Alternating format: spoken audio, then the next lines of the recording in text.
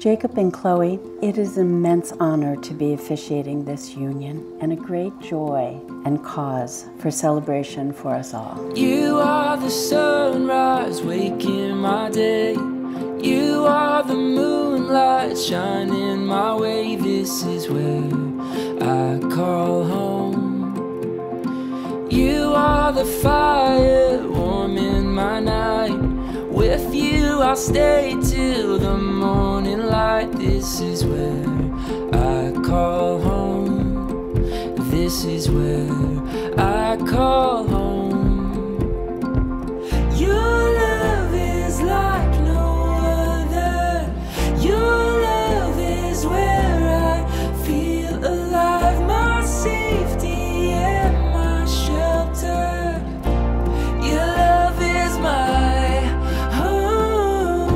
Marriage is a bold step into an unknown future. It is risking who we are for the sake of who we can be. I have so much to thank you for. You have shown me what true happiness is. You have helped me to a state of mind that I didn't think was possible. The happiness you have brought me has opened my eyes to a whole new world, a world with passion, excitement, and love. My appreciation for love and love continues to grow each day because of you. Thank you for being my best friend, the love of my life, and my soulmate. March 3rd, 1999, God gave the world the most beautiful angel. Today, September 3rd, 2022, God gives me that beautiful angel. May our adventures bring endless fun, memories, and our journey never end. Thank you, Chloe. Thank you for accepting my flaws, my perfections. I promise to be your faithful husband and to love you with everything I have till my last breath.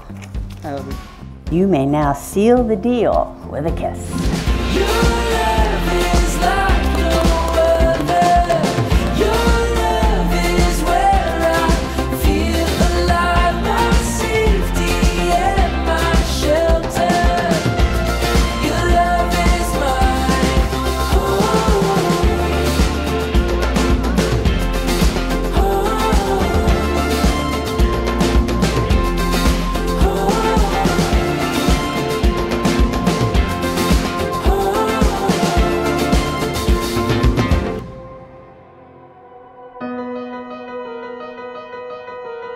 Miller said that she might be the one and asked me what my thoughts were. To which I responded, she's funny, cute, intelligent, and most importantly, she'll hang out with us while we drink ourselves silly. That takes commitment.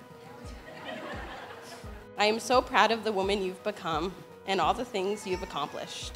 I promise I will always be your biggest supporter with everything and anything you choose to do and the life you've chosen for yourself. Today, you start a completely new chapter of your life. Love and cherish each other. Please raise your glass in the honor of the bride and groom.